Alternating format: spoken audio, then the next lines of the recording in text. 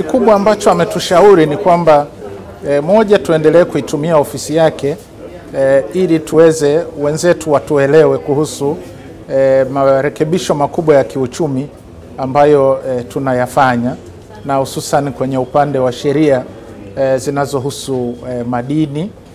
E, kwamba kwa kweli tunachotaka sisi ni kwamba Watanzania wapate kutokana na rasilimali ya nchi yao lakini pia na huyo mwekezaji ambaye anawekeza fedha zake naye aweze kupata. Hiyo ndiyo lengo kubwa, lakini tulizungumza pia kwa ufupi kuhusu marekebisho eh, ya sheria yetu ya takwimu.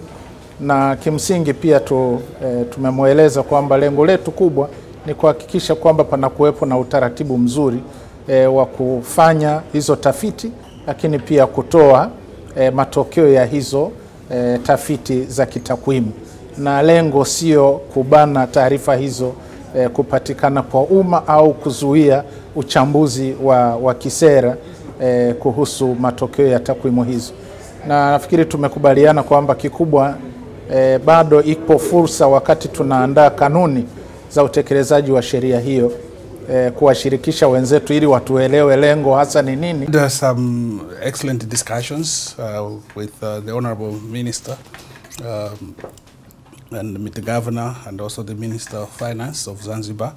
Uh, the discussions, you know, focused on economic developments uh, in Tanzania, but also looking at the outlook.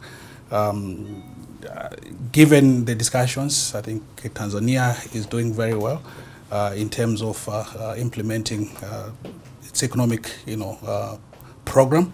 For, for me, as a representative of Tanzania at the IMF Executive Board, is to get this information so that I can, you know, more adequately uh, represent uh, Tanzania at the uh, Executive uh, Board.